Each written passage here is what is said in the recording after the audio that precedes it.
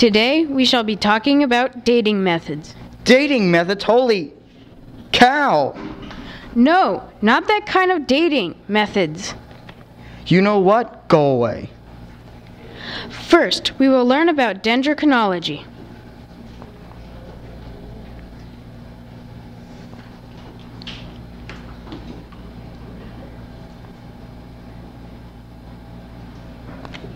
What are you doing? Count range on this here tree stump. One, two, three, five, seven. That's not how you count. Oh, I get it. One, two, three, four, five, six, seven. Dendrochronology is the counting of rings on tree stumps to determine its age. It's the oldest type of dating.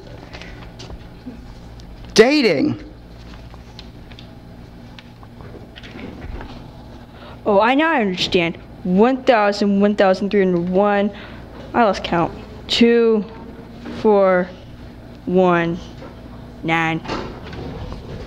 The second method is radiocarbon dating. Date. No, go away. No! I'm gonna go and put this here mass spectrom- put this in here mass spectrometer to determine its radioactive carbon. I better put gloves on. Yeah. This is an example of using a mass spectrometer. Mass spectrometer and carbon dating, a method for determining the age of once living things, such as wood or bones. Now let's discuss the third method cultural dating. I can date people from other cultures. No, get it through your head that we're not talking about girl dating. No, but I can dream.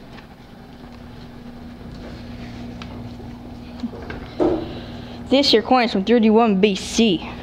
That's when the Augustus Roman Empire wasn't reign until AD 14. This is an example of cultural dating. Cultural dating is using your known knowledge about an object you discovered, such as when Larry found a Roman coin. Ooh, shiny. Shiny.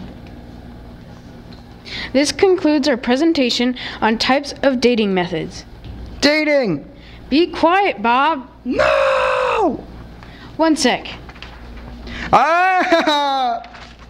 The end. Bye! You're supposed to be tied to that tree.